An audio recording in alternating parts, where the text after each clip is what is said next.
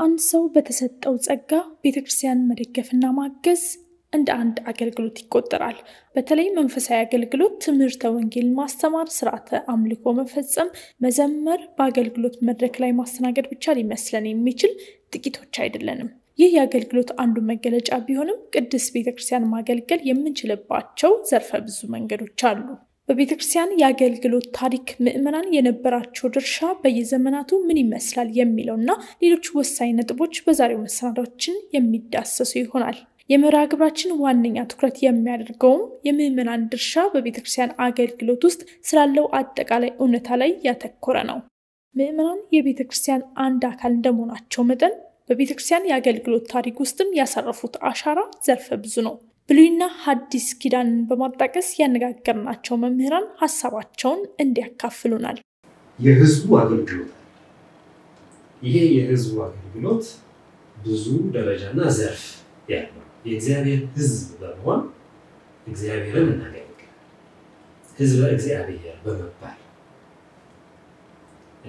ህዝበ እግዚአብሔር በመባል ሁሉም ተካተው እግዚአብሔርን ያገለግላሉ። ስዩማን ወይም የተመረጡት የሌዊ ቤተሰብ የአሮንና የሊቀ ካህኑ ቤተሰብም እንደገና ደግሞ ሌላ አስራ አንድ ቤተሰብም እግዚአብሔርን ያገለግላል። የእነዚያኞቹ አገልግሎቶች ደግሞ ምንድን ነበሩ? በብሉይ ኪዳን ህዝቡ የሚያገለግልበትም ተለይተው ተቀምጠዋል። አገልግሎቱ አምልኮ ነው። አሁን ከአምልኮ መለየት አንችልም። ቤተ መቅደስ ለቤተ መቅደስ የምናደርጋት ሀሳቧ ለእግዚአብሔር ቤት ምን ላድርግ ከምትለው ጀምሮ አገልግሎት ናት። ያ አገልግሎት የህዝቡ በስጦታ የሚገለጸው አገልግሎት አለ። አስራቱን፣ በኩራቱን፣ ቀዳሚያቱን ያኔ ለእግዚአብሔር ቤት በመስጠት የሚደረጉት አገልግሎቶች አሉ።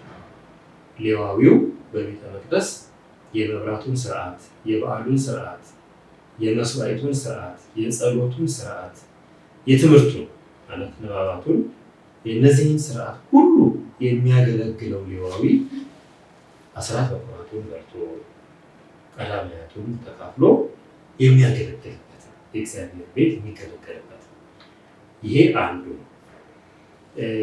ሁለተኛው በብሉይ ኪዳን እግዚአብሔር የሚገለገልበት ሕጉን በመጠበቅ ነው። ይሄ በአዲስ ኪዳን በክርስትና ቀጥሎ የእግዚአብሔርን ሕግ መጠበቅ አስሩን ትእዛዛት እግዚአብሔር ሙሴ ቀርጾ ባዘጋጃት እግዚአብሔር በጣቱ በጻፈባት ጽላት በጻፈባቸው ጽላት የተጻፉ የተሰጡ አስሩን ትእዛዛት ከዚያም አልፎ ደግሞ አድርግ አታድርግ ብሎ ለሙሴ በሲና ተራራ የነገረው በነቢያት የነገራቸው እግዚአብሔርን የሚያመልኩበትን ሁሉ ትእዛዝ መጠበቅ እግዚአብሔርን ማገልገል። እንግዲህ ይሄ ብቻ አይደለም። ያ አገልግሎት የእግዚአብሔር ሕዝብ ወይም የእግዚአብሔር ሰው በመባል እግዚአብሔርን አገልግለዋል። ራሱ የእግዚአብሔር ነኝ እኔ የማመልከው እግዚአብሔር ነው ማለትም አገልግሎት እንግዲህ እነዚህ በብሉይ ኪዳን በሰፊው የተገለጹ በሰፊው የተነገሩ እግዚአብሔርን ህዝቡ ያገለገለበት ምእመናን ስንል እንግዲህ ያመነ በእግዚአብሔር ያመነ ነው የምንለው። በቤተ ክርስቲያን ደግሞ የዛ የቤተ ክርስቲያን ማህበር በክርስቶስ ተጠምቆ በስላሴ ልጅነትን አግኝቶ የሚኖር ማህበረሰብ ነው እንግዲህ ምእመናን የምእመናን ማህበር የምንለው እና ድርሻቸው ምንድን ነው? በቤተ ክርስቲያን እነሱ ናቸው ራሳቸው ቤተ ክርስቲያን አንዱ ተጠምቀው ቤተ ክርስቲያንን በማስገኘታቸውና ከሰማያውያኑ ጋር አንድ ሆነው በምድር እግዚአብሔርን በመግለጣቸው ድርሻቸውን ይወጣሉ።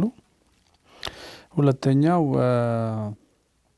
ከነሱ አብራክ በትዳር ተወስነው ከነሱ አብራክ የሚገኘውን ልጅ ለእግዚአብሔር መልሶ በመስጠት ወደ እግዚአብሔር በማመልከት ጥምቀት ከማሰጠት ጀምሮ እንዴት መኖር እንዳለባቸው፣ ለዓለም ምን ማበርከት እንዳለባቸው፣ ለቤተ ክርስቲያን ምን ማድረግ እንዳለባቸው በማምራት ምእመናን ለቤተ ክርስቲያን ድርሻ አላቸው። ሰው ያመርታሉ ማለት ነው። ክርስቲያን ሰው ያመርታሉ። የማያምነውን ያሳምናሉ። ከአብራካቸው የተገኘው መልሰው ለእግዚአብሔር ይሰጣሉ። እግዚአብሔር የሰጣቸውን አንዳንዶቹ ደግሞ ወላጆቻቸው ክርስቲያን ባይሆኑም በልቦና ቅንነት ሕሊናቸውን በመከተል እግዚአብሔርን ፈልገው እንደ አብርሃም ሲያገኙ ከዛ በኋላ ልጆቻቸውን አብርሃምን ማነው ይስሐቅን፣ ያዕቆብን ለእግዚአብሔር ጋር እንዳስተዋወቀ በራሱ ፈልጎ አገኘ። ልጆቹን ግን ራሱ አሳያቸው። እንደዚህ አድርጎ ክርስቲያናዊ ቤተሰብ ክርስቲያናዊ ማህበረሰብ ፈጠረ። አብርሃምን ምሳሌ አድርገን ብንመለከት ማለት ነው።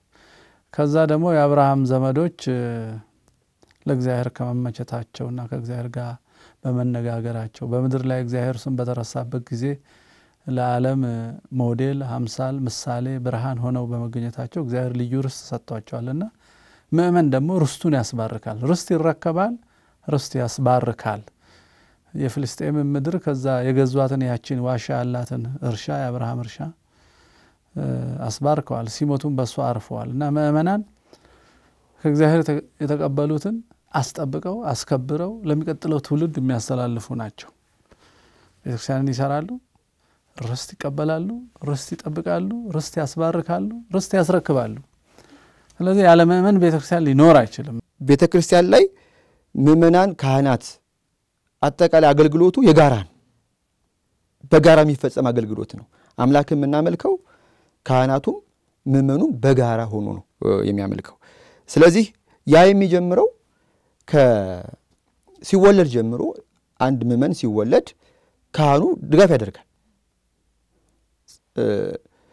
አሁን በኢትዮጵያም ባህል ማርያም ማርያም እያሉ ነው እናቶች በደንብ ያለ ሕመም እንድትገላገል የሚያደርጉት ማለት ነው በጸሎት ከዛ ነው የሚጀምረው አገልግሎቱ የምእመንም ካህንም። ከዛ በኋላ ልጁም ከተወለደ በኋላ ማጥመቅ ነው ይጠመቃል። ልክ ሲጠመቅ የሥላሴን ልጅነት ያገኛል፣ ይቆርባል። ከቆረበ በኋላ ወዲያው የንስሐ አባት የክርስትና አባት ወይም እናት ይመደብለታል ማለት ነው። ጥበቃ ነው። የክርስትና እናት ወይም አባት ቤተ ክርስቲያን የምትመድበው አንድ ምእመን የሚፈጽመው ተልእኮ ነው። ከዛ ይጀምራል ትስስሩ ማለት ነው። ስለዚህ እየተንከባከበ እየመከረ በስጋም በነፍሱም የተሻለ ሰው እንዲሆን አምላኩን የሚያመልክ ሰውንም የሚያገለግል መልካም ሰው እንዲሆን የክርስትና አባት የክርስትና እናትም ይህንን እንዲፈጽሙ ይደረጋል ነው። ከዛ ነው ትስስሩ የሚጀምረው። ቅድስት ቤተ ክርስቲያን ምእመናን በማጠናከር ማህበራትን በማደራጀት እርስ በርሳቸው እንዲግባቡ፣ እንዲተሳሰቡ፣ እንዲረዳዱ ብሎም ለሀገር ክብር እንዲቆሙ ጉልህ አስተዋጽኦ አበርክታለች። አሁን አገልግሎት እንግዲህ በተለያየ ዘርፉ እናየዋለን ማለት ነው። በሲመት ለተወሰነ በቤተ ክርስቲያን ውስጥ ለሚደረጉ ውስን የሆኑ አገልግሎቶች የተሾሙ የሲመት አገልግሎት የሚፈጽሙ ስዩማን አገልጋዮች አሉ። ከብፁዕ ወቅዱስ ፓትርያርኩ ጀምሮ በቅዱስ ሲኖዶስ ከዚያም ደግሞ በየሀገረ ስብከቱ ያሉ ብፁዓን አበው ሊቃነ ጳጳሳት፣ ቀሳውስት፣ ዲያቆናት፣ በማህሌት የሚያገለግሉት መዘምራን፣ በንባብ መጽሐፍትን በማንበብ የሚያገለግሉ አናጉንስጢስ፣ እነዚህ ወይም የቤተክርስቲያን ሀብት ንብረት የሚጠብቁ አቀብት አቀብተ ነዋይ የምንላቸው እና በሴቶች በኩል የሚያገለግሉ ዲያቆናውያን እነዚህ ሁሉም በሲመት ባይሆኑም በቃል የሚሾሙ ስላሉ በአንብሮተ የሚሾሙት በቃል የሚሾሙት የሲመቱም ደግሞ የራሱ ልዩነት አለው። በአንብሮተ የሚሾሙት አሉ፣ በቃል የሚሾሙት አሉ። ወይም አለ በትእዛዝ እንደዚህ ሆኑ እንደዚህ ሆኑ በምርጫ እንደዚህ የሚሾሙት እንደዚያ ሆኖ በአንብሮተ የሚሾሙት የሚያገለግሉት specific የሆነ ውስን የሆነ የቤተክርስቲያን አገልግሎቶች ማለት የተወሰኑ ጳጳሱ ይሄን ያድርጉ፣ ቄሱ ይሄን ያድርግ፣ ልክ ይበል ዲያቆን ይበል ካህን እንደምንለው ማለት ነው። ያንን በዚያ በሲመት የተሰጡ አገልግሎቶችን ስዩማን ካህናት በመሆን የሚያገለግሉት አሉ። አሁን ብዙ ጊዜ በተለይ ለተሃድሶ አማኞች የማይገባው ይሄ part ነው፣ ይሄ ክፍል ነው። አገልጋይ የሚለው ሁሉንም ነው፣ ሁላችንም ማገልገል እንችላለን። ይሄ አይደለም። ያ ቢሆን አስራ ሁለቱን ብሎ መሾም ባላስፈለገው፣ ያ ቢሆን ለእነሱ በልዩ ሁኔታ ምስጢሩን በልዩ ሁኔታ ቃል ኪዳን በልዩ ሁኔታ ጸጋና ሀብት በልዩ ሁኔታ ባሰጠ ለይቶ ማለት ነው። ያ በሲመት የሚደረግ ስራ። ሌላው ደግሞ የእሱ በመሆኑ ልክ ምንድን ያለው በዮሐንስ ምዕራፍ አንድ ላይ ጌታችን እናታችን ኢየሱስ ክርስቶስ አምላክ መሆኑ በአፍህ በልብህ ብታምን በአፍህ ብትመሰክር ትድናለህ። ማገልገል መዳኛችን፣ ካላገለገል አንድ ነው። በቃ ማንም ሰው ክርስቲያን ሆኖ እግዚአብሔርን ካላገለገለ ድነት የለውም። ምክንያቱም በኋላ የድነታችንና የዘላለም ሕይወታችን መገለጫው ለዘላለም እግዚአብሔር ማገልገል ነው። ቅዱስ ቅዱስ እያሉ ስም ማባረክ ያንን በዚህ ሕይወታችን የምናገኘው። ስለዚህ አሁን የህዝባውያን የምዕመናን አገልግሎት እንደ አገልግሎት ማሳነስ አይ ያ አገልግሎት ከሌለ የቤተክርስቲያን አገልግሎት አይኖርም። ልክ ቅዳሴ ቤተክርስቲያን ሲቀደስ አንዱ ህግ ቤተክርስቲያን ያለው ህግ ምዕመናን ሲመጡ መምጣታቸው አላለ በቤተክርስቲያን መገኘታቸው በቅዳሴው ምክንያት። ስለዚህ የሚቆርብ ከሌለ ለብሎ ቁርባን ስለዚህ ሁል ጊዜ ትይይዝ ነው የሚያንስ አይደለም።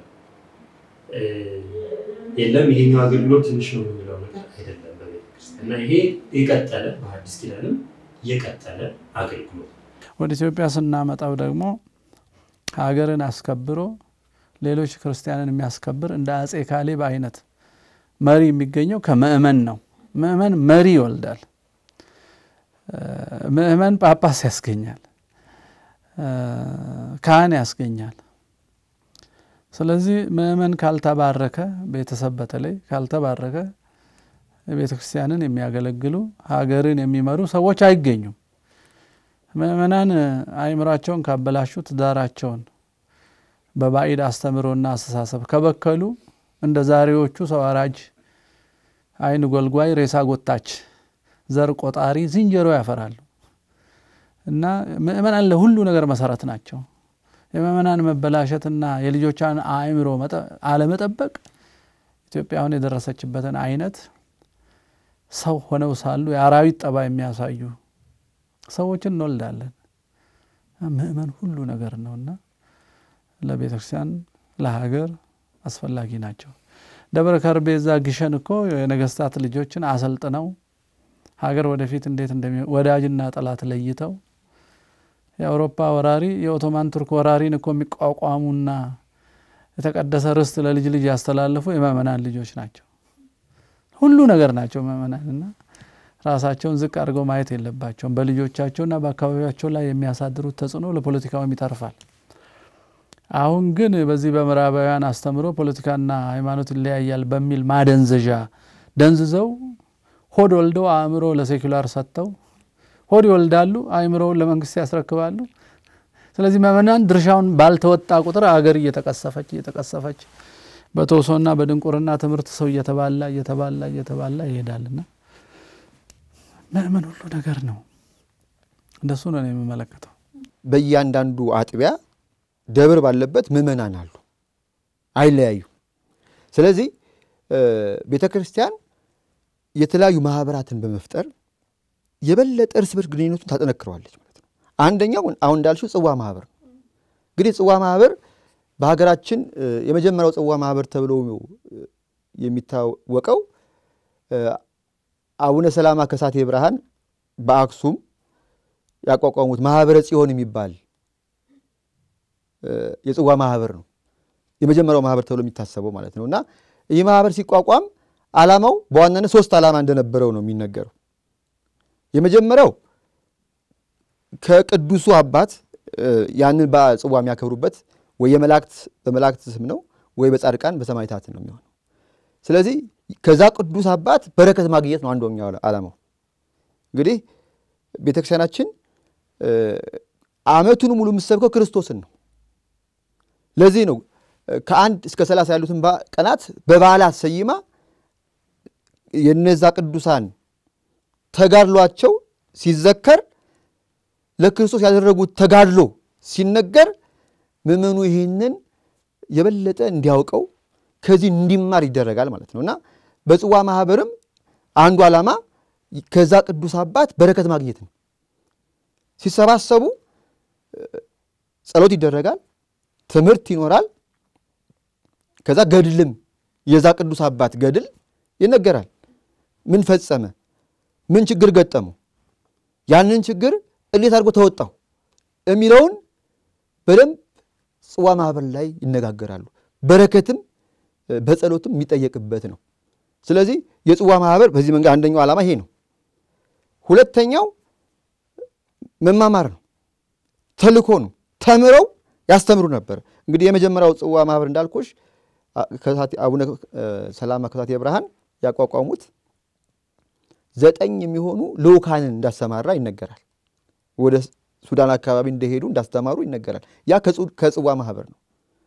በጽዋ ይገናኛሉ፣ ይማማራሉ፣ ተምረው ደግሞ ያስተምራሉ ማለት ነው። ይሄ የቤተ ክርስቲያን ተልእኮ ነው። ጽዋ ማህበራት የቤተ ክርስቲያን ዋነኛ ተልእኮ መፈጸሚያ አውዶች ናቸው። የነገ ቤተ ክርስቲያን አገልጋዮች የሚፈሩትና አገልግሎት የሚጀምረው ከቤተሰብ ነው። ይሁን እንጂ በሌላ ዓለም የትምህርት ፖሊሲ፣ የባህል ወረራ፣ በዘመናዊ መንገድ ለአውሮፓውያኑ ስንገዛ ብዙዎቻችን አይተን እንዳላየ ሰምተን እንዳልሰማ በመሆናችን በቤት ውስጥ የተገነባው የአገልግሎት መንፈስ እየተዳከመ ይገኛል። ቤተሰብ ውስጥ እያንዳንዱ በቤተሰብ ውስጥ ሶስት ግዴታዎች ወንድ ሲሆን ሚስቱ፣ ሴት ስትሆን ባል። በትዳር ሕይወት ውስጥ ያለ አገልግሎት በትዳር ውስጥ እንደውም ቤተሰብን ትንሿ ቤተክርስቲያን ትዳር እዚያ ውስጥ የሚጠበቅብን ሁለተኛው እዚያ ቤተሰብ ውስጥ ልጆችን በማሳደግ የነገ የቤተክርስቲያን ተተኪ አገልጋዮች የሚፈሩት ከቤት ከቤተሰብ ቤተሰብ ውስጥ ያለን መሰረታዊ ነገር ከዚያ በጥቅሉ ደግሞ ልጆች ለቤተሰባቸው ቤተሰብ ለልጆቻቸው የሚያደርጉትን በአጠቃላይ ይዞ የምናገለግለው የቤተክርስቲያን ልክ እንዳንድ ቤተሰብ ቤተክርስቲያን ውስጥ ስለሆን የሚጠበቅብን አገልግሎት እነዚህም አገልግሎቶች ናቸው። ሶስተኛው በቤተክርስቲያን ውስጥ ነው። በቤተ ክርስቲያን ወይም በጉባኤ ምዕመናን ውስጥ የሁሉም ምዕመን በጣም ትልቅ በየዘመን በሐዋርያት ዘመን አላቸው። በተለይ ብዙዎቹ ቅዱስ ጳውሎስ ሮሜ 16 ላይ በስም እየጠራ ሰላምታ ያቀርብላቸው። በስም እየጠራ እንደውም አንዳንዶቹ ከኔ በፊት ክርስቶስን በማመን የቀደሙ ይላል። ምዕመናን ከኔ በፊት የቀደሙ እንደገና ደግሞ በመከራዬ አብረውኝ ሆኑ ብሎ ይናገራል ቅዱስ ጳውሎስ። ሐዋርያት አይደሉም እነዚያ ሰዎች፣ ከሰባ እርድእት አይደሉም፣ ዲያቆናት አይደሉም፣ ቀሳውስት አይደሉም። ግን ሰላምታ ያቀርብላቸው ምንድን ነው? ዝርዝሩን አሁን ከመጽሐፍ ቅዱሱ ሙሉ መረጃውን ስላልሰጠን ላናውቀው እንችላለን። ግን የታወቁ ናቸው። ምዕመናን እምነትን በማጽናት ሃይማኖትን ጠብቆ በመኖር ለአባቶቻችን ለሐዋርያት ተስፋ የሆኑት ትምህርታቸውን ተቀብለው ከእነሱ ጋር በመከራ አብረው መሆናቸው ሁሉንም በየዘርፉ የኔ ነው ብለው ካልተወጡ አደጋ አለ። ትልቅ አደጋ ነው የሚያጋጥመን። በአሁኑ ጊዜ ምዕመን በበቂ ሁኔታ ክርስትናን ታሳቢ ባደረገ ሁኔታ አሁን ባልሻቸው እርከኖች እየተሳተፍን አይደለም እየተሳተፍን አይደለም። ምዕመኑ ለምሳሌ ገንዘቡን ወስዶ ለህንፃ መገንቢያ ለአገልጋዮች ግዴታው ስለሆነ ግዴታው ነው። በሰው ነው የሚገለገለው ሰዎች የሚበሉ የሚጠጡ ኑሮ ያላቸው ሰዎች ናቸው ያን ያደርጋል። ያን አድርጎ ሌሎቹ ሸክሞች ግን አይሸከምም። ለምሳሌ ቤተ ክርስቲያን ቤተ ክርስቲያን ቦታ የአገልግሎት ቦታ የተለያዩ መብቶች በህግ ውስጥ ሀሳቧ እንዲካተት የምእመናን ፍትህ አገልግሎት እንዲያገኙ ለማድረግ ምእመናን አሁን ተዘናግተዋል። ለምን? ምእመናን በአእምሯቸው ምን ተፈጥሯል? ሁለትነት ተፈጥሯል። ሁለትነት መንታዊ ማለት ነው። ሁለትነት በአብ በወልድ መንፈስ ቅዱስ ተወልደው የሥላሴ ልጅነትን አግኝተው የነገሱባትን ምድር ስነ ፍጥረት መምራቱን ረሱት። ልጅነትን ያለ ንግስና ይፈልጉታል፣ ያለ መሪነት። አሁን በዮሐንስ ወንጌል ምዕራፍ አንድ ቁጥር 12 ላይ በስሙ ላመኑ ለተቀበሉት የእግዚአብሔር ልጆች የሆኑ ዘንድ ስልጣንን ሰጣቸው ብሎ የምን ስልጣን? የእግዚአብሔር ልጅ የመሆን ስልጣን። የእግዚአብሔር ልጅ ከሆነ ሰው በእግዚአብሔር ፍጡር ላይ ሁሉ ይነግሳል።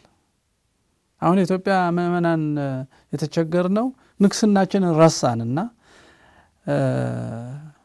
ነገሰ ማለት እንደፈለገ ይገዛል ይመራል ማለት አይደለም። ነገሰ ማለት ጠባቂ፣ ኃላፊነት ያለው ለእግዚአብሔር ተጠሪ የሆነ እግዚአብሔር የፈጠረውን ፍጥረት እግዚአብሔር እንደወደደውና እንዳበጀው አበጅቶ የሚኖርና ለሌላ ትውልድ የሚያስተላልፍ የሚጠብቅ ማለት ነው እና ጥበቃውን ትተናል። እንወለድና ኃላፊነት እንደሌለብን ነው የምንሆነው። ምን ማለት ነው ይሄ? ለምሳሌ በዚህ ሀገር ኢትዮጵያ በተባለው ሀገር ውስጥ ከአምስት ሺህ ዓመት ዘመን ጀምሮ እግዚአብሔር የሰጠንን ርስት በተሳሳተ አስተምህሮ ሲያጠፉት ሰዎች ዝም እንላለን። የተሳሳተ ትምህርት በዩኒቨርሲቲዎቻችን ውስጥ ሲሰጡ ዝም እንላለን። ልጆቻችን ትምህርት ቤት ገብተው ስለሚፈለግና ስለማይፈለግ ነፍስ፣ ስለ ውርጃ፣ ስለ safe sex ዝሙት ሲማሩ በትምህርት ደረጃ ዝሙት የራሳችን የትምህርት ስርዓት የራሳችን መንግስት የራሳችን ምሁራን በመጽሐፍ ጽፈው ዝሙትን ሲያስተምሩ ምእመን ዝም ይላል። ዝም ነው የሚለው። የእኛው መምህራን የእኛው ሊቃውንት ዘር ሲያስተምሩ ምእመን ዝም ይላል። ለምን? ከእግዚአብሔር መወለዳቸውን የሚያረሳሳ ትምህርት ተዘጋጅቶ በሀገሩ ላይ ሲደፋ ምእመን ዝም ይላል።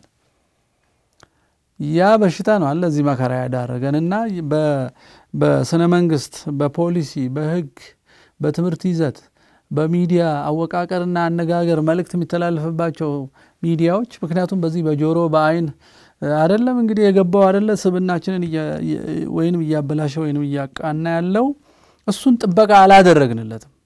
ልጅ እንወልዳለን፣ ሆዱን እንሞላለን፣ አእምሮውን ለባዕድ እንሰጣለን። ስለዚህ አልተሳተፍንም፣ ድርሻችንን አልተወጣንም። እንደ አብርሃም ይስሐቅና ያዕቆብን አላስገኘንም። ሰንበቴ ብዙ ጊዜ ቤተክርስቲያን ላይ ነው የሚካሄደው። ቁጥሩን በዛ ሊል ይችላል። የሰው ጽዋ ብዙ ጊዜ አስራ ሁለት ሰዎች ናቸው የሚሆኑት። የግድ ላይሆን ይችላል፣ ግን ብዙ ጊዜ አስራ ሁለት ሰዎች ነው የሚሆኑት። ሰንበቴ በርካታ ናቸው። ወደ አንድ አንድ ዳቦ የሚቆርሱበት አንድ ዳቦ ቆርሰው ያላቸውን አንድነት የሚያጸኑበት ነው ሰንበቴ። ይሄ በመጽሐፍ ቅዱስም ያለ ነው። ክርስቲያኖች በዕለተ ሰንበት እየተገናኙ በጋራ ማዕድ ሲቆርሱ እንደነበረ መጽሐፍ ቅዱስ ተዘግቧል። ይህ አጋፔ የሚባለው አጋፔ ፍቅር ነው፣ ፍጹም የሆነ ፍቅር ነው። ስለዚህ ክርስቲያኖች የመጀመሪያዎቹ ክርስቲያኖች እየተሰባሰቡ በዕለተ ሰንበት በተለይ በጋራ ማዕድ ይቆርሱ እንደነበረ፣ አንድነታቸውን ያጸኑ እንደነበር ይነገራል። እኛም አገር ይሄ አለ። በተለይ በዓለም ላይ ከእስጢፋኖስ ውግረት በኋላ እየቀነሰ እንደመጣ ነው የሚታወቀው። ኢትዮጵያ ውስጥ ግን ተጠብቆ ነው ያለው። ይገናኛሉ፣ ይመካከራሉ፣ ብዙ ነገር ነው የሚነጋገሩት። ስለ ቀብራቸውም ስነ ስርዓት ሁሉ እዛ ውስጥ ይነጋገራሉ እና ሰንበቴዎች ትልቅ ስራ ነው የሚሰሩት። በተለይ ምዕመናን ከማጽናት አንጻር አንዱ አንዱን የመከረ ያለውን አንድነት አጽንተው እንዲቀጥሉ የሚያደርጉበት ሌላኛው የቤተክርስቲያን አደረጃጀት ነው ማለት እንችላለን። ከዛ ባሻገር ዝክር የምንለው አለ። ዝክር በዓመት አንዴ የሚፈጸም ነው። አንድ ሰው ከፈለገ የቅዱስ ሚካኤል ሊሆን ይችላል፣ የቅዱስ ገብርኤልን፣ የጊዮርጊስንም ሊሆን ይችላል፣ ወይም ሌላ የቅዱስ ስም ዘክሮ ማንኛውን ሰው ጠርቶ የሚያበላበት ነው። ስለዚህ ቅድም እንዳልኩሽ ጽዋ ማህበራ ተያያዥ ናቸው። ምእመናን ከቤተ ክርስቲያን አገልግሎት በዘለለ በማህበራዊ ሕይወታቸውም በቤተ ክርስቲያን አስተምሮ በመገንባት የተጣሉትን በማስታረቅ በሐዘን በደስታ ጊዜ በመተሳሰብ ጠንካራ ግንኙነት እንዲኖራቸው ሆኗል። በማንኛውም ደረጃ ቢሆን በክህነትም ቢሆን በክህነት በሌለው ሕይወት ውስጥ እውነተኛ ክርስቲያን መሆን ይፈልጋል። ከዚያ በኋላ በሰው ብርሃን መሆን ይቻላል እና ከዚያ ቤተሰብን በአግባቡ መምራት ይፈልጋል። በማህበረሰብ ውስጥ አሁን በቤተ ክርስቲያን ያለው ነው። ከዚያ በማህበረሰብ ውስጥ እንግዲህ ያ ብርሃንነታችን ሲቀጥል በህብረተሰብ ውስጥ የሃይማኖታችን ጽናት ምን ያህል ጽኑ ቢሆኑ ነው ጾማችን አሕዛብን ያስቀናቸው። ለምንድን ነው እንደዚህ የሚሆኑት? ምን ምን ሲሰጣቸው ምን ይሰጠናል ብለው ነው ሰዎች እንደዚህ ይህን ያህል ከዓመቱ ግማሽ ከግማሽ ዓመት በላይ የሚጾሙት ምጽዋታችን፣ በጎ አገልግሎታችን፣ ጥሩ ንግግራችን፣ መልካም የሆነ ባህሪያችን ሰዎች ምን ስለሆኑ እነዚህ ሰዎች እንደዚህ የሆኑት ይሉናል። በህይወታችን በማንኛውም በመንግስትም በማንኛውም ማህበራዊ አገልግሎት ውስጥ ታማኝነት፣ በጣም ጥሩነት፣ ለሰው መልካም አርአያነት ያለው ህይወት ሲኖረን ያ ሳቢ ይሆናል ለሰዎች። ይህን እኮ የሆኑት ክርስቲያኖች በመሆናቸው እና ለምሳሌ አሁን ለትሪፖ ዲያሎግ ዊዝ ትሪፖ ላይ የሰጠው የላቲን ጸሐፊ ስለ ክርስቲያኖች የሰጠው ክርስቲያኖች ሀገር አይጎዱም፣ ክርስቲያኖች መልካም ዜጎች ናቸው፣ ክርስቲያኖች ማንንም ንብረት አይፈልጉም፣ አይሰርቁም፣ ክርስቲያኖች ጥሩ ዜጎች ናቸው፣ ሰው አይበድሉም፣ ሙሰኞች፣ ጉበኞች አይደሉም። ስለዚህ ለምንድን ነው ክርስቲያኖች እኮ ለአንተ ጥሩ ዜጋ የሚሆኑ ሲሆኑ ለምን ታሳድዷቸዋለህ? እንግዲህ የተጠቀመው የምዕመናንን እውነተኛ የሃይማኖት መገለጫ ለክርስትና ነፃነት እንደ አንድ ነገር ተጠቅሞ የነበረው ይህ ተመሳሳይ ነገር በአውግስቶስ ሲዛር ጊዜ ሲዛር አውግስቲኖስ በነበረ ጊዜ ተደርጓል። እንደዚሁ ተመሳሳይ ነገር ማለት አሁን እስራኤላውያን ከግብፅ ሲወጡ በረሃ ውስጥ እንግዲህ እግዚአብሔርን በደሉ። እንዳውም የግብፅን ጎመን አሰቡና ወደኋላ ብንመለስ ይሻለናል፣ በረሃው ከበደን አሉ። የሚገቡባትን ተስፋ የተደረገላቸውን ርስትም ሰልሉ ሲባሉ ሌሎቹ አይ ሰዎቹ ያስፈራሉ ብለው ፈሩ። ሁለቱ ካሌብና ኢያሱ ናቸው እግዚአብሔር ኃይል እንገባለን ያሉት። እግዚአብሔር ያን ሁሉ ሰው ባህረ ኤርትራን አሻግሮ በበረሃ መድግቦ ለአብርሃም ለይስሐቅና ለያዕቆብ የሰጠኋትን ርስት ሊገቡባት አይገባም ከካሌብና ከኢያሱ በስተቀር ብሎ ሌላውን ከሀያ ዓመት በታች ያሉትን ነው የማስገባው እንጂ ከዛ በፊት ሀያ ዓመት እንግዲህ በረሃ ውስጥ የቆዩትን አርባ ዓመት ነው የቆዩት። ከሀያ ዓመት በላይ ያሉትን በሙሉ በረሃ ውስጥ አስቀራቸው። ይሄ ለምንድን ነው? ምእመናን ያን ክብር ካላወቁ፣ በስነ መንግስቱ፣ በህዝብ አመራሩ፣ በርስት ክብሩ ካልተሳተፉበት፣ በማስከበሩ ካልተሳተፉበት እግዚአብሔር የተቀደሰችው ምድር ላይ እንድንቀጥል አይፈቅድም። ለዚህም ይመስለኛል ይህ የማይገባቸውን ህፃናት እያስነሳ ክርስቲያኖችን እየፈጀ ያለው አሁን በዚህ ርስት የመኖር የተገባችሁ አይደላችሁም ብለው ኢያሱና ካሌብን አስቀርቶ እኛን ሊጠርገን ነው መሰለኝ እና በማህበረሰብና በመንግስት ውስጥ ብዙ ተሳትፎ እያደረግን አይደለም፣ አንሳተፍም። ያለመሳተፋችን ፍሬው ደግሞ እግዚአብሔርን የማያውቁ ታሪክ የማይጠነቅቁ በተረክ በትርክትና በሐሰት በዘረኝነትና በስብከት በአክቲቪስትና አእምሯቸው በተዛባ ጥቂት ሰዎች የሚመሩ ብዙሀንን ያፈራ ነው እና አሁን ያለው የኦርቶዶክሳውያን ሁለገብ ተሳትፎ እጅግ እጅግ እጅግ ዝቅተኛ እንደማያገባው ሰው ጥግ ተቀምጦ የሚያይ ማህበረሰብ ነው የተፈጠረው። አገልግሎት የሚጀምረው ከቤተሰብ ነው። ያ ቤተሰብ እርስ በርስ እንዲከባበር፣ አባት ልጅ እንዲያከብረው፣ ልጅ አባት አባትን እንዲያከብር፣ ታላቁ እንዲያከብር፣ እንዲታዘዝ ስርዓት ፈጥራለች። ትልቁ ስራ የሚጀምረው ከቤተሰብ ነው።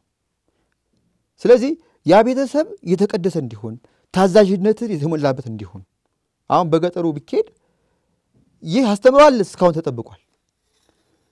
ያ ቤተሰብ እንግዳ ተቀባይ እንዲሆን እንግዳ ሲመጣ አልጋውን ለቆ የሚያስተኛ ማህበረሰብ ነው የተፈጠረው። አገልግሎት ነ እግር ማጠብ፣ መታዘዝ፣ ይህንን ነው እያንዳንዱ ወላጅ እየቀረጸ የሚሄደው። ይህንን የነንስ አባት ይከታተላሉ። በየቤቱም ስለሚሄዱ ሁኔታውን ይከታተላሉ ማለት ነው። በዚህ መንገድ ያጸናሉ። በዚህ መንገድ ከተካሄደ በኋላ ንስሐም ይሰጣሉ ማለት ነው። በንስሐ ብዙ ነገሮችን ምዕመናን ያገኛሉ። ከጭንቀት ይገላገላሉ። ስነ ልቦናዊ መረጋጋትን ያገኛሉ። የምክር አገልግሎትም ያገኛሉ እና ብዙ ጊዜ እንዲያውም የአንድ የነፍስ አባት ልጆች አንድ ላይ የሆኑ ብዙ ስራም ይሰራሉ።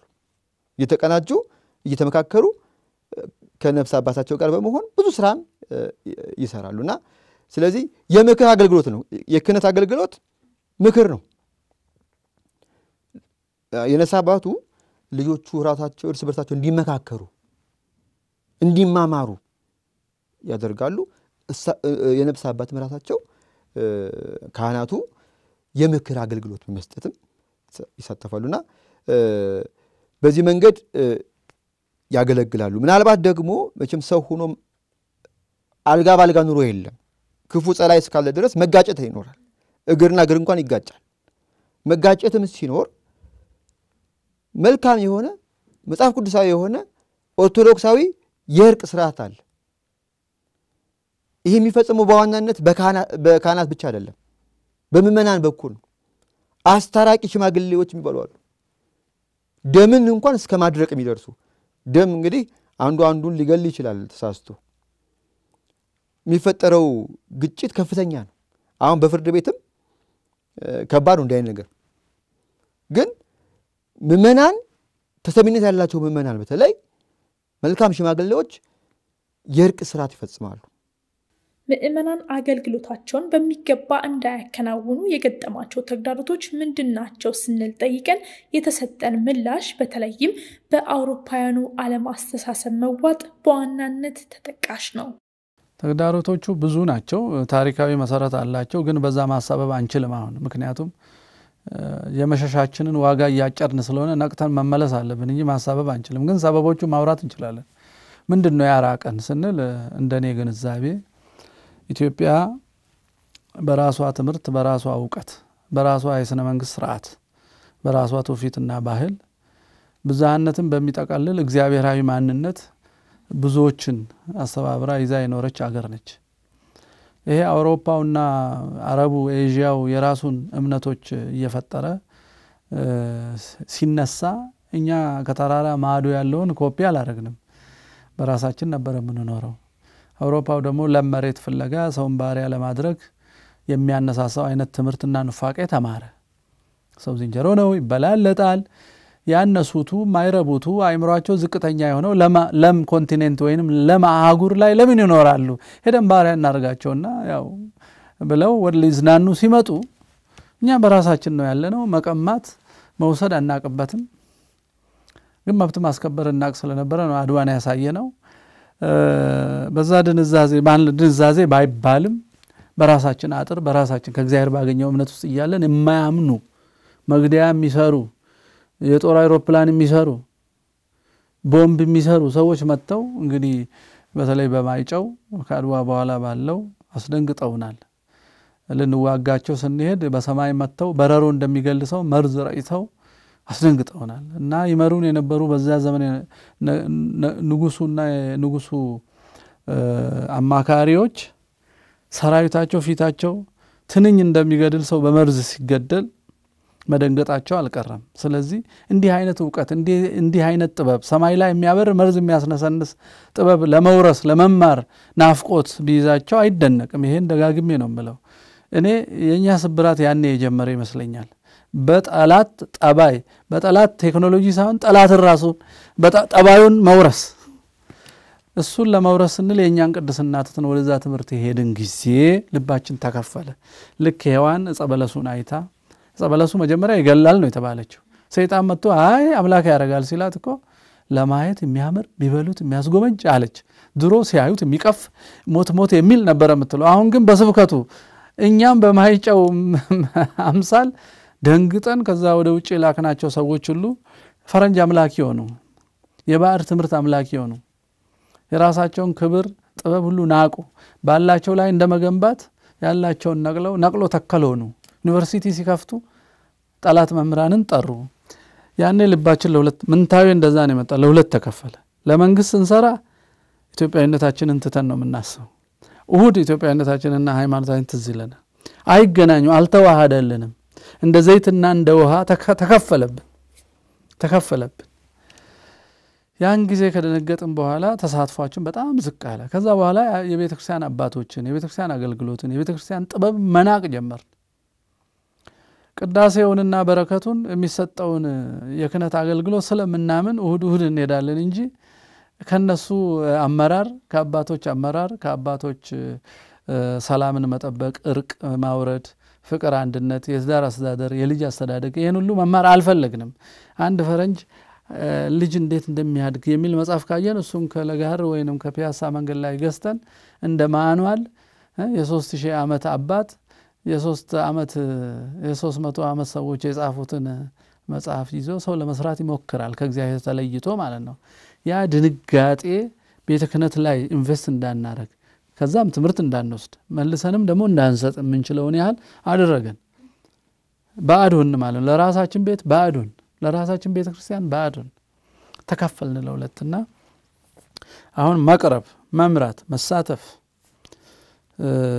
መንገድ ማየት ከአባቶች መልሶ ደግሞ በዘመኑ ለዘመኑና ለአሁኑ ሁኔታ የሚመጥን ደግሞ ስልት መፍጠር ምናምን ይሄን አላደረግንም። እንግዲህ ያኔ ደነገጥን፣ በጠላት እጅ ተማርን፣ ሁለትነት በአእምሯችን ተጸነሰ፣ ከቤተ ራቅን ማለት ነው። ውጭ ቆምን እንተቻለን። ማንጸሪያችንም የባዕድ ሆነ። ከዛ በኋላ አታይም? አንዳንድ የእኛ መሪዎች እኮ አይሮፕላን ተሳፍረው ሌላ ሀገር ሄደው ሲመጡ ልምድ ቀምረን መጣን፣ የከሌን ፓርላማ አይተን የከሌን አኗኗር የከሌን ፖሊሲ ሲሉ እንሰማለን። ምንድን ነው ትምህርቱ ነው እንዲህ ያደረገን። የሰዎቹ ክፋት አይደለም።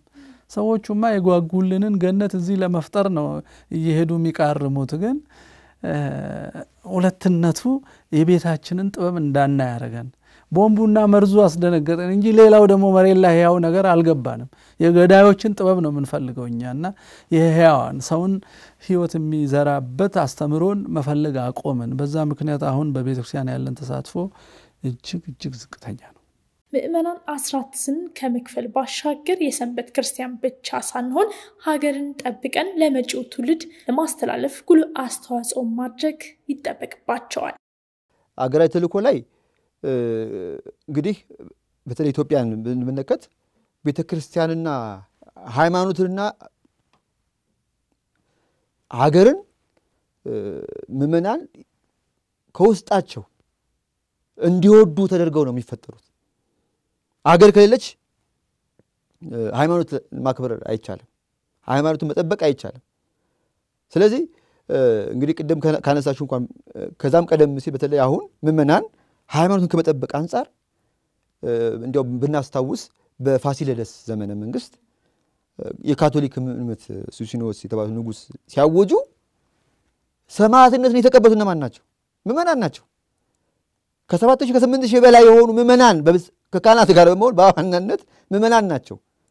ሃይማኖታችን አይቀየርም፣ አዲስ ሃይማኖት አንቀበልም፣ የጥንቱ ትክክል ነው ብለው ብዙ መከራ የደረሰባቸው በተለይ ቅድስት ወለተ ጴጥሮስ የተባለችው እናት ትልቅ ስራ ሰርታለች። በዘመኑ በዘመኑ ማለት ነው ነገስታትን ከመገሰጽ ጀምሮ ማለት ነው እና ምዕመናን ከፍተኛ የሆነ አገራዊ ተልእኮ ነው። ምክንያቱም የካቶሊክ አጠቃላይ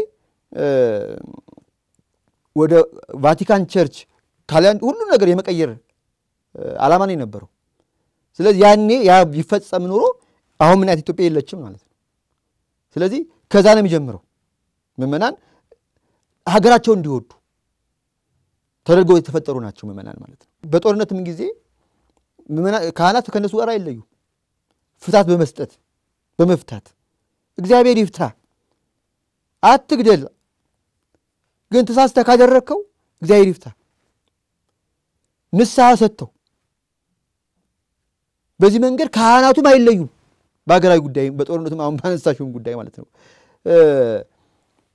ከዛ ባሻገር ሞቶም ደግሞ ለሚገኝ ሰው በደንብ ተገንዞ ይቀበራል ማለት ነው። በዚህ መንገድ አገራዊ ተልእኮ ምዕመናን እንዲወጡ ስለ ሀገራቸው ፍቅር ሊኖራቸው ተደርገው ነው የሚፈጠሩት ነው የሚሰሩት። ከዚህ አንጻር አገራዊ ተልእኳቸው ከፍተኛ ነው የምዕመናን የሚለውን ማየት እንችላለን። አብነት ትምህርት ቤትን አይተሽ ከሆነ አንደኛ ልጆቹን በመስጠት ነው የሚጀምረው። አስተዋጽኦው ልጆቹን አብዛኛው የሀገራችን ሕዝብ አርሶ አደር ነው። በጉልበት ያግዙታል። ያንን አርሶ አደር ልጆቹ ትምህርት ቤት ካልሄዱ ከብት እገዳም በጎችን ይጠብቃሉ፣ በእርሻም ይሰማራሉ፣ ያግዛሉ በጉልበት ማለት ነው። ይሄ ነገር ይቅርብኝ ብለው ነው የሚመድቡ ለቤተክርስቲያን አገልግሎት ካህናት ያስፈልጋሉ በማለት እንዲማሩ ያደርጋሉ። ያ ብቻም ሳይሆን አብዛኛው እስካሁን ድረስ ያለው የአብነት ትምህርት በምዕመናን sponsorship ወይም ድጋፍ ነው የሚካሄደው። በእንተ ስሟ ለማርያም ስለ ቸሩ እግዚአብሔር ብለው ለምነው ነው የዕለት ጉርሳቸውን የሚያገኙት። ቸግሯቸው አይደለም። ከሀገራቸው ርቀው ስንቅ ይዘው አንዴ ይመጣሉ። ከዛ በኋላ ሀገራቸው ያ ቦታ የሄዱበት አካባቢ ሀገራቸው ሆኖ ይኖራሉ ማለት ነው። የዛ አካባቢ ማህበረሰብ እንደ ልጁ ያያቸዋል፣ ይመግባቸዋል፣ አስፈላጊውንም እርዳታ ያደርግላቸዋል ነው። በዚህ መንገድ ሃይማኖት እንዲቀጥል ያደርጋል ማለት ምዕመናን። የአብነት ትምህርት ከሌለ ሃይማኖቱ ሊቀጥል አይችልም። ስለዚህ ሃይማኖቱ እንዲቀጥል የአብነት ትምህርት ቤቱን ያስቀጥላሉ ማለት ነው። ድጋፍ በማድረግ ልጆቻቸውን እንዲማሩ ያደርጋሉ። እንዲሁም ደግሞ የሚበሉትን፣ የሚጠጡትን፣ የሚጎርሱትን ልብሳቸውንም በመሸፈን ትምህርቱ እንዲቀጥል ትልቅ አስተዋጽኦ ያደርጋሉ ማለት ነው። ቀደም ባሉት ጊዜያት ኦርቶዶክሳውያን በአድዋ ጦርነት በተለያዩ የልማት ስራዎች በመሳተፍ የነቃ ድርሻ እንደነበራቸው ታሪክ ይነግረናል። አሁንም ኦርቶዶክሳውያን በሀገሪቱ ላይ በባለቤትነት ስሜት ቢሳተፉም በኢኮኖሚና ፖለቲካዊ አጀንዳዎች ላይ ያላቸው ተሳትፎ ውስን ሆኗል። በዚህም አሉታዊ ድርጊቶች የመፈጸማቸው ሁኔታ ከጊዜ ወደ ጊዜ እየበዛ መጥቷል።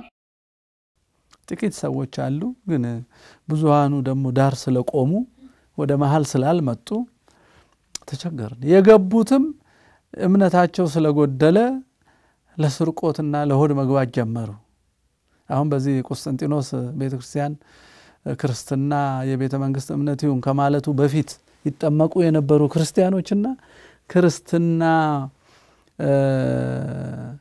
ክርስትና እየተሳደደ በግበበ ምድር በጫካ መደበቅ በሚኖርበት ጊዜ የሚጠመቁ ሰዎች ጠባያቸው ይለያይ ነበር።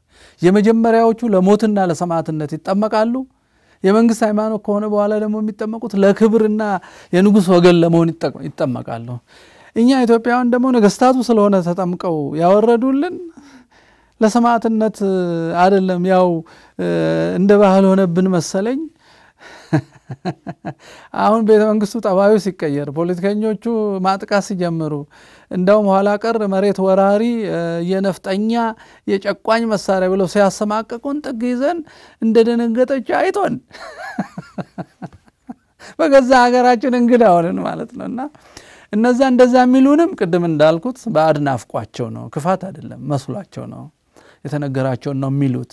ሌላ ሀገር የሌለ ነገር ሁሉ ኢትዮጵያ ከታየ ትክክል አይደለም በእኛ መሪዎችና ምሁራን መሰረት እና የዛ ድንዛዜ ነው ቤተክርስቲያን ውስጥ ገብተን እንደ ምእመን በጥንካሬ በእርግጠኝነት ያለምንታዌ በተዋህዶ አስበን ህይወታችንን ቤተ መንግስትም ገበሬም ምንም ብንሆን ሃይማኖት ጋር አዋህደን ማሰብ ያቃትን ያ ተከፍሎ ስለመጣብን ነው ብዬ ነው የማስበው። እና እሱን ለመመለስ ሰው ሁሉ መነሳት አለበት።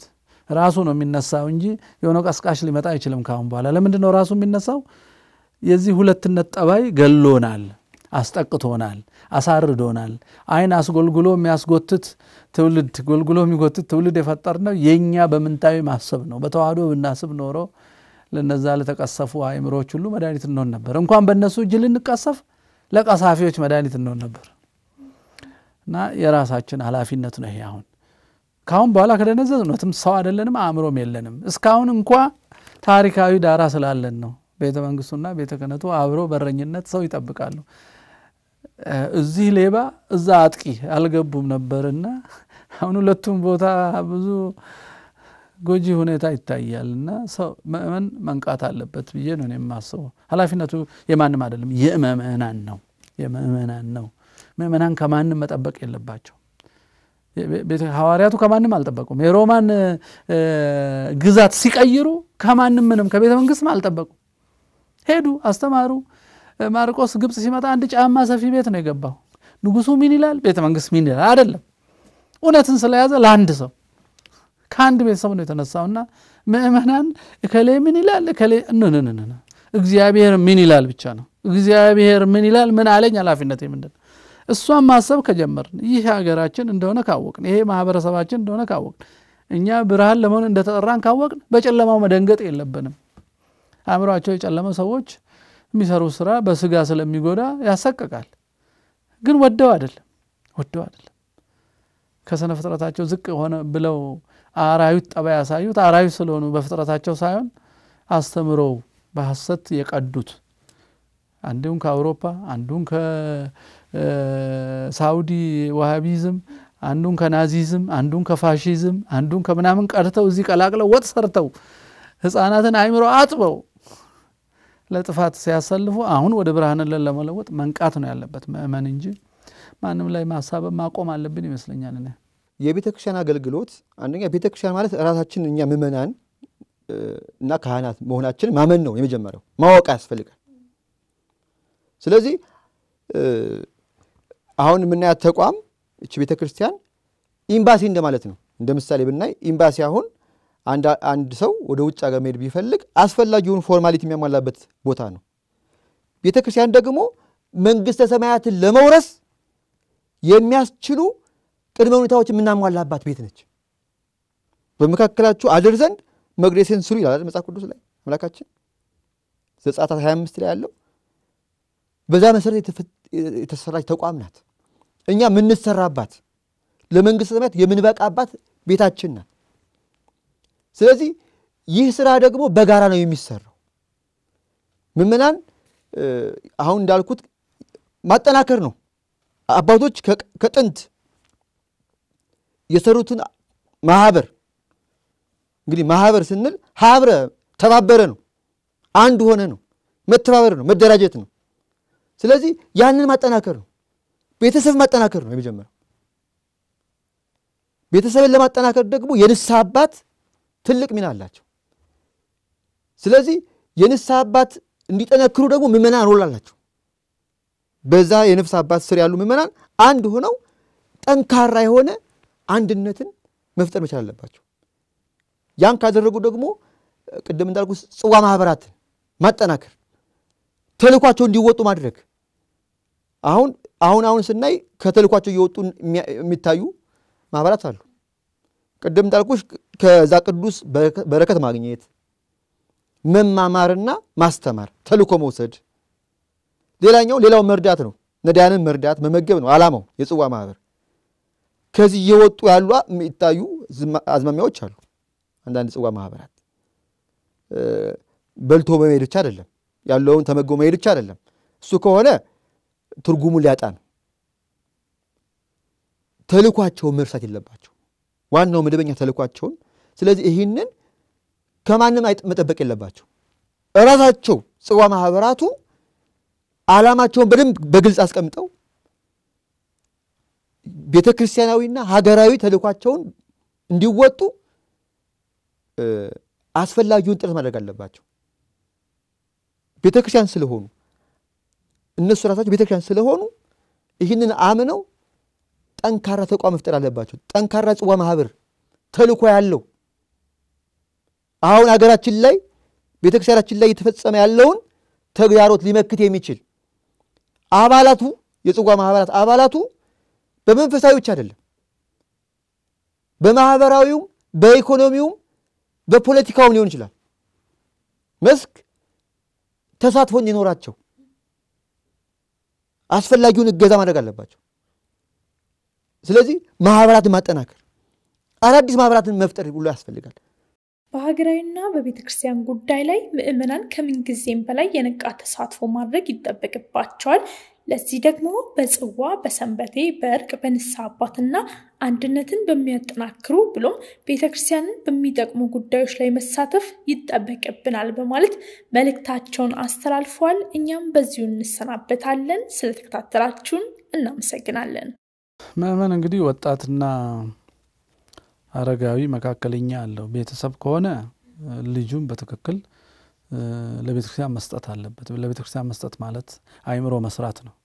በነጠላ ትምህርት ለቁሳዊ እድገት ብቻ በሚሆን ትምህርት እንዳይደነዝዝ መንፈሳዊንም ትምህርት የማስተማር ትክክለኛውን ኢትዮጵያዊ ታሪክ በማስተማር በፖለቲካ ፍትወት የተለወሰውን ትርክት ሳይሆን እውነተኛውን በማስተማር ስነ ምግባር በማስተማር ይጀምራል። መጀመሪያ ወጣት ሲሆን ደግሞ ቤተሰቦቹ፣ ወላጆቹ በተለይ ቤተክርስቲያን ያስተማረቻቸውን ተቀብለው ዓለም ካቀረበችላቸው በመዝናኛ ስም፣ በእውቀት ስም፣ በፋሽን ስም፣ በጥበብ ስም ጊዜ አባካኞችን ትተው በቁም ነገር ላይ ማተኮር፣ በቅድስና ራስን በመጠበቅ በእውቀት መዳበር፣ ሌላውን መውደድ፣ እግዚአብሔርን መምሰል ላይ ወጣቶች ማተኮር አለባቸው። ሰብሰብ ሲሉ እንደ ማህበረሰብ ደግሞ ሀገራቸውን የሚጠብቁበት ጉዳይ ላይ ሁሌ ማትኮር አለባቸው። ሀገር የሚጠበቀው በእውቀት፣ በልማት፣ በፖለቲካ ተሳትፎ፣ በሁሉም በሌላውም በማንኛውም ነገር ይህንን ሆነ ብለው አስበውበት ማለት ሰው ባሰበላቸው ልክ መኖር የለባቸውም ምእመናን። ሰው ባሰበላቸው ልክ ከኖሩ ተጎታች ነው የሚሆኑት። ማን ነው የሚያስብላቸው? የሚያስብላቸው እኮ ጠፍቷል። አሁን አሁን እኮ ሰው ታርዶ እየተጎተተ አንድ ሶስት ወር እያሳረፉ መድገም፣ አስጎትቶ መሰወር፣ መደበቅ፣ አፈናቅሎ አለመመለስ ባለበት አገር ሰው ተደራጅቶ በደንብ አስቦ አባቶቹ ባርከው የሰጡትን ርስቱን የሚጠብቅበት እነዛን እኮ ምን ይላቸዋል? ከካሌብና ከኢያሱ ውጭ ያሉትን ለአብርሃም፣ ለይስሐቅ፣ ለያዕቆብ የሰጠኋትን ርስት በሰጠኋት ርስት የመግባት ለመግባት የማይበቁ ስለሆኑ ከነዚህ ከሁለቱና እድሜያቸው ከሀያ ዓመት በታች ከሆነው በስተቀር ማንም እንዳይገባባት ነው የሚለው እና እኛም አባቶቻችን በጸሎት በተጋድሎ በዓለም አቀፍ ዲፕሎማሲ በጦርነት ይህ ሀገር እኮ የጦርነት ሀገር አንዴ ቱርክ እዚሁ በተወለደ ወንድማችን በኩል እንደ አህመድ አይነት አይሲስ አገር በቀል አይሲስ ይወጋናል። አንዴ በዚያድ ባሬ በኩል አንዴ በምናምን በኩል አንዴ በጃራ በኩል አሁን ደግሞ በየከተማው በተፈጠሩ ወጣቶች በኩል ይወጋል። ያን ሁሉ ተቋቁመው እውነትን አሳይተው ፍቅርን አሳይተው አንድነትን አሳይተው ነው የሰጡን የነበረው። ለዛ አይነት ፍቅር፣ ለዛ አይነት ትጋት፣ ለዛ አይነት ጀግንነት የተገባች አገር ነበረች። አሁን ደግሞ ሶዶም ስደትን የሚናፍቅ ዕለት ዕለት በሱስ የሚደነዝዝ ዕለታዊ ነገር ብቻ የሚያስብ እግዚአብሔር ምን ይላል? ኢያሱና ለካሌብ እንደሰጠው እነዚህ አባቶቻቸው በጀግንነት በጸሎት በእውነትና በፍቅር ለጠበቋት አገር የሚገቡ ወጣቶች አይደሉምና ቀስፋቸዋለሁ ሳይል ይቀራል። እንደዛ እንዳንሆን በፍጥነት ንስሐ መግባት፣ ራስን በቅድስና መጠበቅና ፍቅር አንድነትን መመለስ፣ እውነትን መናገር፣ በፖለቲካ መሳተፍ፣ በኢኮኖሚ መሳተፍ፣ ሐሰትን ሐሰት ማለት ሐሰትን ሐሰት ማለት ያስፈልጋል። ሐሰት ዝም ካሉት አደገኛ ነው። ምክንያቱም በምናብ ውስጥ ምስል ይሰራል። ያ ምስል ወደ ተግባር ይቀየራል። አሁን የሆነው እንደሱ ነው። መጀመሪያ ለልጆች ሐሰት ትርክት ወይንም narration ተሰራላቸው። ያ narration image ሰራ። ያ ምስል action ሆነ ማለት ተግባር ሆነ ማለት ነው። ይህ እንዳይሆን ሐሰትን ገና ምስል ሳይሰራ መቃወም ያስፈልጋል። ምስል ሳይሰራ አሁን አንዳንድ ዩኒቨርሲቲዎች አሉ እዚህ ኢትዮጵያ ውስጥ የሚያስቁ ፕሮፌሰር እንትና ፕሮፌሰር እንትና የሚባሉ ሰዎች እና የሚያቀርቧቸውን ወረቀቶች ብትመለከቷቸው ያስፈራል። ነገ ልጆቻችን እንዴት ይኖሩ፣ ሰላምና ፍቅር እንዴት ይኖር፣ ራሳችን እንዴት እንቻል፣ ከጥገኝነት እንዴት እንላቀቅ፣ በሽታን እንዴት እናጥፋ፣ ሕማምና ድካም እንዴት እንቀንስ፣ ከዓለም ጋር ለዓለም አስተዋጽኦ እንዴት እናርግ፣ ከዓለም ጋር በአንድነት እንዴት እንኖር፣ እንዴት እንደ ብርሃን ልጆች ባለን ረጅም ታሪክ ለሌሎቹ እንዴት እንጥቀም ሳይሆን መጀመሪያ ሐሰት እውነትም ቢሆን ራሱ አንዳንዴ ያለፈውን ነገር ለሚቀጥለው ማስተላለፍ አይገባም። እንደ ንስሐ ነው። እንሰውረዋለን አለ ክፋትን እንሰውረውና ወደፊቱ መንገድ እናበጃለን። ከዛ ትምህርት ወስደን ግን ሐሰትን በጆርናል ስም በመጽሐፍ ስም አባዝተው በዩኒቨርሲቲው ለማስተማር የሚሞክሩ ፕሮፌሰሮች አሉ። እንኳን ፕሮፌሰሮች የኢትዮጵያ ትምህርት ሚኒስቴር እንኳን ያ ሐሰት ለሰላሳ አርባ ዓመት ስለቆየለት ባለፈው የታሪክ መጽሐፍ ላይ ቤተ ክርስቲያን ወራሪዎችን ተከትላ ነው የምትሄደው ብለው እኮ ጽፈው ለማስተማር እኮ የተነሳ ትምህርት ሚኒስቴር ያለበት እኮ ሀገር ነው። የራሳችን መንግስት ሀገር ሰርታ የሰጠችዋን ቤተ ክርስቲያን ከሶ የሚቀጥለውን generation የእሷ ጠላት ለማድረግ ትምህርት ትምህርት ያዘጋጀበት እኮ ሀገር እኮ ነው እና ሐሰትን ዝም ማለት የሚፈጥረው ትውልድ በሐሰት የተፈጠረ አይምሮ የሚያደርሰውን አይተናል። ስለዚህ ትምህርትን፣ ሕግን፣ ፖሊሲን፣ የቤተሰብ ሕጎችን፣ የህፃናትና የሴቶች ጉዳይን፣ የሀገር አስተዳደርን ይህን በሚመለከት ክርስቲያኖች አይናቸውን ከፍተው በሀገራቸው ጉዳይ ካልተሳተፉ በስተቀር ሌላ ሰው ነው የሚወስንባቸው። ለአምልኮ ቦታ ሲወስዱ ሰጠናችሁ ነው የሚባሉት። ሀገራቸው መሆኑ ይረሳና አይ no እንፈልጋለን እዚህ ብለኮ ወረራችሁ ነው የሚባሉት። የማን ሀገር ነውና ነው ሰው እንደዚህ የሚቀልደው? ይሄ የተፈጠረው በሐሰተኛ ትርክት የፈጠረ ምናብ ነው። ምናቡ ተፈጥሮ ህይወት ዘርቶ ስልጣን ይዞ ተግባር ውስጥ ሲገባ አልተናገርንም፣ ተለጎምን። አመት እየጠበቅን ሜዳ ላይ ስንዘምር ቱሪስት አምጥቶ ፍራንክ ይሰበስቡበታል። ከዛ ጠላት ያደርጉናል። እኛ የቱሪስት ሸቀጥ አይደለንም፣ ባለ ሀገሮች ነን። ይሄን ግን በተግባር ለማረጋገጥ በሁሉም መሳተፍ አለበት ምእመን፣ በሁሉም ነገር። ሃይማኖታችን የሰንበት ሃይማኖት አይደለም። ሃይማኖታችን ህይወታችን ነው፣ የተዋሃደን ነው። እንደዛ ነበር ያሳየ ነው። አሁን ከየት አምጥተን እንደደነዘዝን አይታወቅም። ያው ቅድም ባልኩት መግቢያ ነው። ግን ሌሎች ኮሚኒዝሙ አለ፣ ዲግሪው አለ፣ ምኑ ስላለ እሱ አደንዛዥ ነው እና I think ከሱ መውጣት ያለብን ይመስለኛል። ምእመናን በየትኛውም ዓለም በተለይ በሩሲያ ቤተክርስቲያንም ታሪክ በግብፅ ቤተክርስቲያንም ታሪክ ስናይ በሀገራችንም የምእመናን ድርሻ ከፍተኛ ነው። የቤተክርስቲያን አገልግሎት የተሟላ ከማድረግ አንጻር ያለ ምእመናን ተሳትፎና እገዛ የሚፈጸም ምንም ነገር የለም፣ ምንም ነገር የለም። ስለዚህ ይህንን በደንብ ማወቅ አለባቸው። አገልግሎት የካህናት ብቻ አለመሆኑ አገልግሎት የመዘምራን ብቻ አለመሆኑ አንዳንድ የሰንበት ትምህርት ቤት ተማሪዎች ብቻ የሚመስላችሁ አሉ። አይደለም። ስለዚህ የባለቤትነት ስሜት ይገባኛል፣ ይመለከተኛል፣ የኔነት ስሜት እያንዳንዱ ምዕመን ሊፈጥር ይገባል። ይህንን ደግሞ የተለያዩ ማህበራት ሊወጡ ይገባል። አሁን ያልኩት ጽዋ ማህበራት ሰንበቴዎች ዝም ብሎ በልቶ ቆርሶ ብቻ መሄድ አይደለም። ከጥንትም የነበረው እሱ አይደለም። ትልልቅ ሀገራዊ አጀንዳዎችን የሚራመድባቸው ናቸው። ትልልቅ የቤተ ክርስቲያን ችግሮች የሚፈቱባቸው ተቋማት አውዶች ናቸው።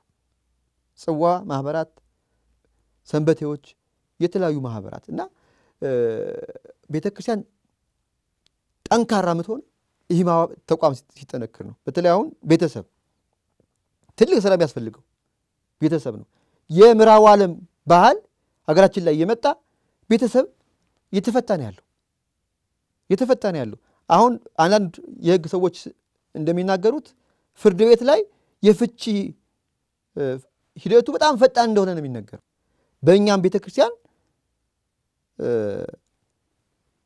መንፈሳዊ ፍርድ ቤት ያስፈልጋል። መንፈሳዊ ፍርድ ቤት መጠናከር አለበት። ጋብቻን በደንብ መያዝ ካልተቻለ ቤተሰብ ይፈርሳል ማለት ነው። ቤተሰብ ፈረሰ ማለት ደግሞ ያው ቤተ ክርስቲያን ምዕመናኑ አደጋ ላይ ናቸው ማለት ነው። የጋራ የቤተሰብ ስብስብ ስለሆነ ቤተ ክርስቲያን የምንለው ከዚህ አንጻር የምዕራቡ ዓለም ተጽዕኖ እያደረብን ስለመጣ ይህንን በንቃት አይተን የነፍስ አባቶች በደንብ ሊሰሩ ይገባል። ክትትል ያስፈልጋል። በኢኮኖሚ ደከም ያሉትን በደሞዝ ማጠናከር ነው።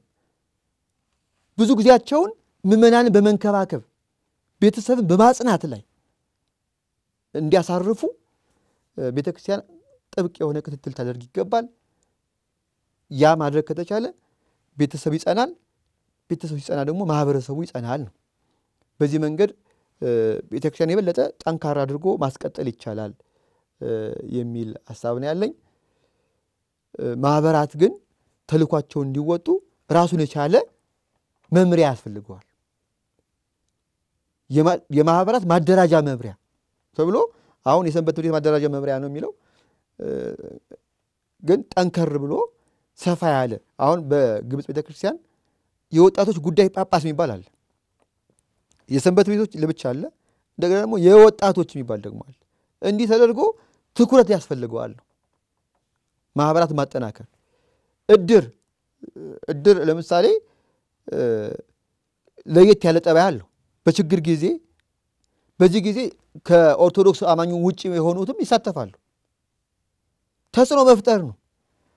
አንዱ ከአንዱ ጋር በሰላም እንዲኖር ሙስሊምም ይሁን ሌላ እምነት ይኑረው በችግሩ ጊዜ መጠያየቅ ያስፈልጋል ነው እና ይህንንም ነገር መንፈሳዊ ዓላማ ያለው ቢቻላችሁስ ከሁሉም ጋር በሰላም ኑሩ እንደሚል ሐዋርያው ቅዱስ ጳውሎስ። ስለዚህ በዚህ መንገድ ቤተ ክርስቲያን ምዕመናኖቿን እያደራጀች ያላትን ተቋም አሁን ይፈጠር አይደለም የነበረ ነው። እሱ ማጠናከር ያስፈልጋል። ተልኳቸውን በአግባቡ እንዲወጡ ደግሞ የሚከታተል መምሪያ ቢኖር የበለጠ ውጤታማ ይሆናል። ነገር ግን ምዕመናን ከላይ ብቻ መጠበቅ የለባቸው የጋራ ነው ተልኳችን የሚል ሀሳብ ለመስጠት ነው። Thank you.